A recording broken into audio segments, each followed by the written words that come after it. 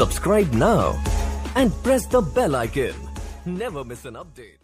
Hello বন্ধুরা, আজ আমরা আলোচনা করতে চলেছি অভিযাত্রিক মুভিটি নিয়ে অভিযাত্রিক মুভিটি অপুর ভূমিকায় অর্থাৎ বাংলাদেশের শুভ যে অভিনয় করার কথা ছিল সকলেই কিন্তু সেটা জানে।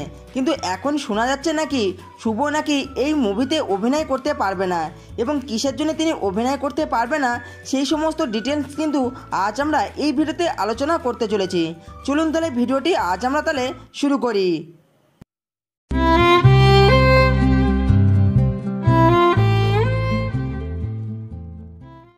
ষাট বছর পরে দর্শকদের সামনে ফের হাজির হতে চলেছে অপু।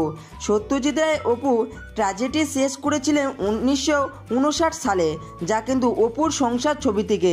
ঠিক সেখান থেকে শুরু হবে নতুন পথ চলা এবং সিনেমাটির নাম ইতিমধ্যে কিন্তু ঠিক করে দেওয়া হয়েছে যে কী নাম হবে, তা কিন্তু আপনারা সকলেই জানেন।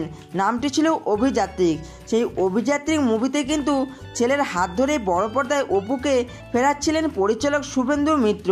এবং এই ছবিতে মুখ্য ভূমিকায় অভিনয় করার কথা ছিল বাংলাদেশের অভিনেতা আরফিন শুভর কিন্তু ভিসা সমস্যার কারণে এই ছবিতে অভিনয় করছেন না শুভ। এই প্রসঙ্গে শুভজিৎ কিন্তু বলেছেন তিনি নাকি এই মুভিটি সরে যাওয়ার জন্য খুবই নাকি দুঃখ প্রকাশ করেছেন এবং শুভ ভিসা পায়নি বলেই নাকি এই ছবি তিনি করতে পারছেন না এবং সেই জন্য ছবি নাকি তিনি সরে এসেছেন এবং তাছাড়াও কিন্তু রিসেন্ট কিছু ঘটনার জন্য নাকি এবং সেই সকল ঘটনার জন্যই নাকি তিনি এই মুভিতে সরে আসতে বাধ্য হয়েছেন।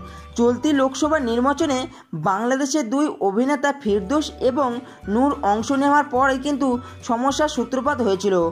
দ্রুত এই দুই অভিনেতাকে বাংলাদেশে ফেরার নির্দেশ দেয় কিন্তু হাই কমিশন। ভারতে এই মুহূর্তে বাংলাদেশি শিল্পীদের কাজ করা নিয়ে কিন্তু সমস্যা তৈরি হয়েছে। শিল্পীরা ভিসা পাচ্ছে না বলেই কিন্তু খবর। সেই কারণে অভিযাত্রিক ছবিটি থেকে সরে দাঁড়ালেন শুভ।